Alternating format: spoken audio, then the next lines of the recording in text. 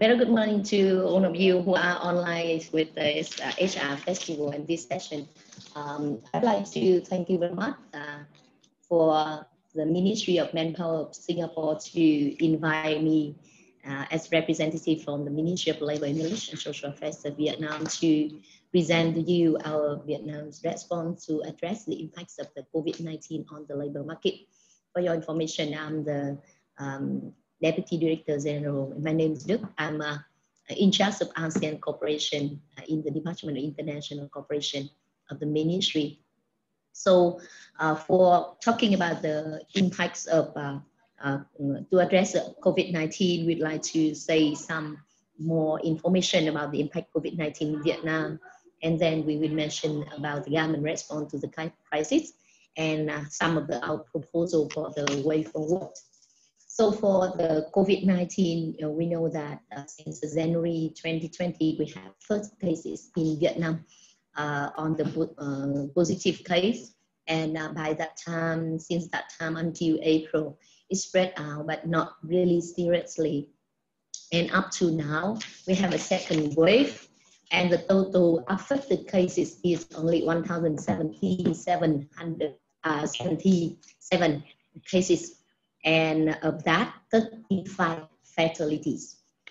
Uh, though we have a very limited number of the positive cases, but we also see a lot of the uh, impacts on the market, on the livelihoods of the people. And uh, with that, uh, because uh, we, we know that because of social distancing, because of the quarantine, uh, many of the businesses are seriously impacted. So on the labor forces, we can see that um, um, the, in the first six months of the year uh, 2020, the economic growth decreased rapidly, where we see the GDP uh, growth rate reach only 1.81%. I, I think it's also good compared to other eco uh, economies, other nations, but still we see it uh, normally it's around 6.7% last year, but now it's only 1.8% and 86 businesses negatively affected. in Import export costs turned down, and um, the revenue of uh, business in quarter one fell to 70%. So this according to the government statistics and also the report from my ministry. For the uh, impact on the labor force, we can see that for the first, uh, first quarter of 2020, 53.55.3 uh, million uh, was uh. Um, no, um, and it reduced about 672 jobs uh, in the quarter two of 2020. The employment is around 53 uh, millions. Uh, it reduced by 2.2 millions compared to last year. And uh, the participation rate still was at 75%, but we see a lot of underemployment and also the news in the uh, salary. Uh, so we can see that uh, most impact sectors, including the processing and manufacturing one, because of the social distancing, because of the less order from customers all over the world, and hospitality and catering, of course, is uh, relating to the tourism, education and training also are uh, uh, heavily affected and the wholesale retail industry, repairing cars, wholesale, etc. Can see uh, in my slide uh, many of the uh, statistics here. Uh, for the impact on, uh, uh, we see that the basic labors, the, the, the low labors decreased 1.5 million jobs. Semi-skilled workers and craftsmen around more than 500,000 jobs and immediate professional, uh, professional and technical occupation decreased around more than 200, uh, 300,000. We also see a lot of the impacts on the migrant workers working uh, overseas uh, with the difficulty in employment uh, reductions and also somehow unemployed because of the businesses, uh, the health accessibility, the healthcare and some, many of them cannot be return due to the travel restrictions, those that contract closes. Uh, so um, it also create uh, with this difficulty, it create a lot of difficulty to the families, to the, the workers' incomes and the living standard of the people. Uh, we also see on the impact of the enterprises uh, here. Uh, material supply was interrupted, output uh, because of the less demand globally, as I mentioned. So that's why uh, many of the enterprises in the textile, footwear, travel, aviation, restaurant, hotel, logistics are, are heavily uh, affected and reduced in terms of the um, revenue and uh, so uh, uh, with that, uh, we see a lot of the actions response to COVID-19 and we see through the survey of the our Vietnam Chamber of Commerce and Industry on the current situation of the enterprises, we see that 66.8% uh, of enterprises apply labor-related solutions, uh, like a constructive solution, like organizing training for workers, promote e-commerce, uh, um, but, but organizing training for workers account for 44% of the enterprises surveyed. Uh, and we also, uh, the enterprises also uh, apply detrimental, detrimental solution like uh, uh, alternating reduced work, 39%, reduced labor around 28%, and unpaid leave 21%, and reduced labor with 18%. so we can see that for the reality of the COVID-19, no country, no single country can cope with uh, the impact of uh, COVID-19 alone because we are in the uh, regional uh, uh, integration, global integration. All of the economies are connected and we are connected through flights, through travel. So it can like uh, have a heavily impact back to all over the world when one country is affected uh, I think this is a very good lesson learned that we can see in this uh, process uh, that we need to work together. So what about government responses to that in Vietnam?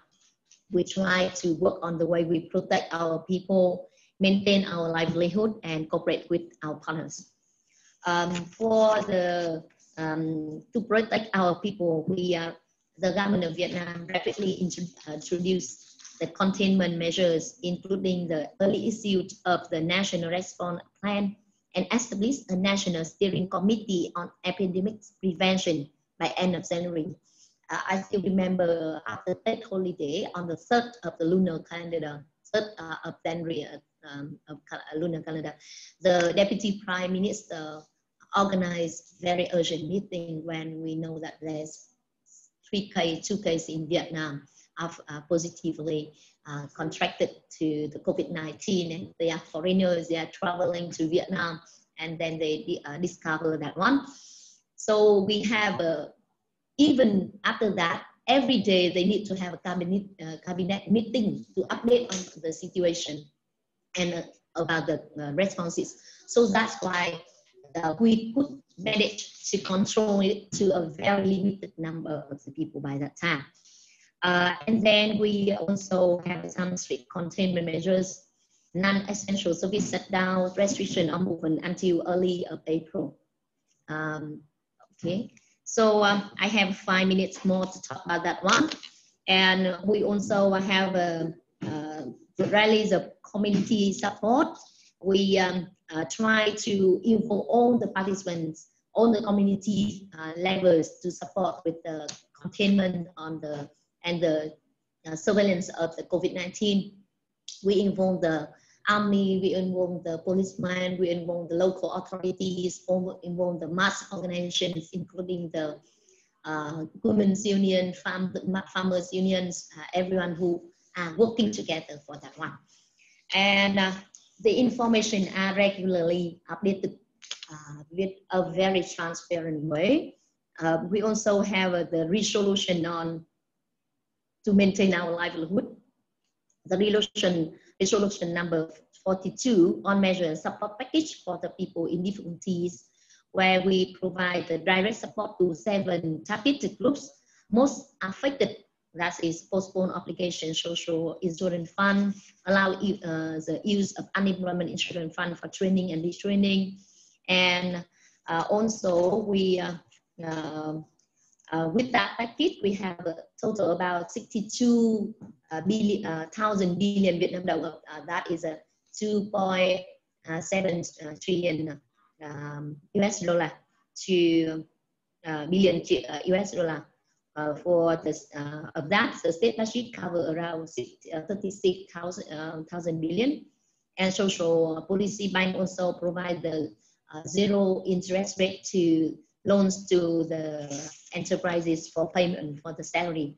And we have also funding support from other policy rest we take it from the local uh, budget of the localities and we also involve the civil society in, in the policy making process.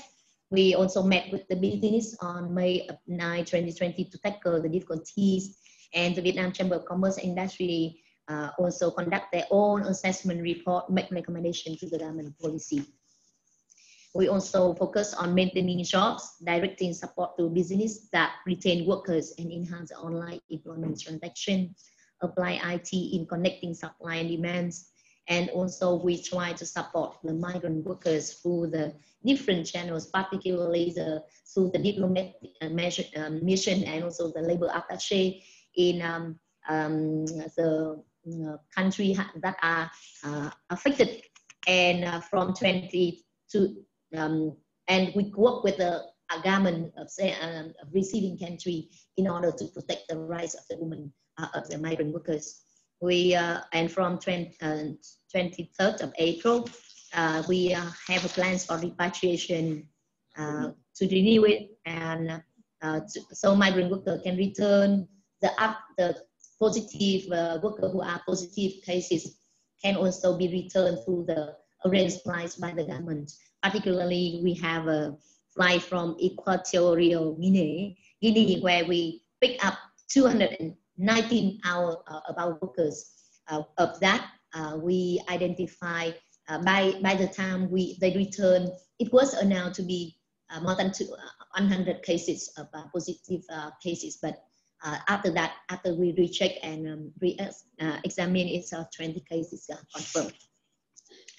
And uh, we also negotiating with the country of uh, receiving country to uh, support for them, of course. And also we cooperate with our partners uh, to, to, reopen the international travel, welcome the, um, um the, the, and also arrange the flights for the uh, foreign experts to come and work in Vietnam, of course, uh, following the Vietnam instruction, government instruction on the quarantine of COVID-19 for the safety of our community. So for the way forward, we are now looking uh, both the, of course, we come up with a new normal as other countries. We try to promote the um, state, uh, the, the business development, but also to ensure the safety for our community, for our workers. We um, try to work on the issues of the employment creation arrangements and also the promotion of uh, businesses uh, opening, reopening. We can create more um, jobs for our people and also to address other issues like uh, uh, social inequalities, applying safety for the uh, workplace. So with that, I'd like to thank you very much. I think my 15 minutes is over.